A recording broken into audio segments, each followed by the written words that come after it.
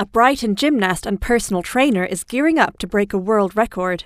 Joey Addison, who has already run an 80 mile marathon barefoot, now plans to make history by walking more than three miles on his hands in under eight hours. It, there are days when I think actually this is a really, really big challenge. I've not done anything like this before. I've done running challenges before, um, so I know what to expect from them, but this is something I've never never come even close to attempting. Uh, the blood rushes to your head, um, you get a headache quite quickly. Um, so I'm, I'm doing it in bursts rather than trying to do the whole thing in one go. It will be short, sharp bursts because I need to let the blood drain from my head. I've, uh, my wife and, and family have obviously been supportive of every challenge I did. Um, when I did the 24 hour, I did a 24 hour uh, run a couple of years ago, and my wife was there the entire time She's planning on, well, I hope she's planning on coming down and, and supporting me with this one.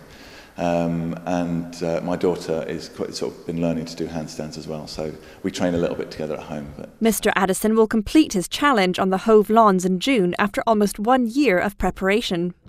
While he hopes to see his name in the Guinness Book of Record, his real motivation lies in honouring the memory of his late father by raising money for Macmillan Cancer Support. Um, I, yeah, I would definitely like to see my name uh, next to a, a world record. Um, it's uh, something that you know would, would stand the test of time, and uh, I don't think anyone's ever attempted this particular type of record before. So it would be good to set one and maybe see if someone can try and break it. Yeah, I'm a big supporter of Macmillan Cancer Care. Um, my dad uh, died in 2010 of cancer, and he uh, he was a big supporter of them uh, before he died because my granddad also died from cancer.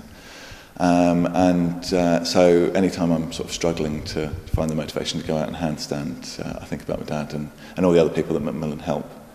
And it, uh, it makes me get out the door. Okay, so I've got a Just Giving page. Um, so it's justgiving.com and then it's uh, Joe Addison Handstand.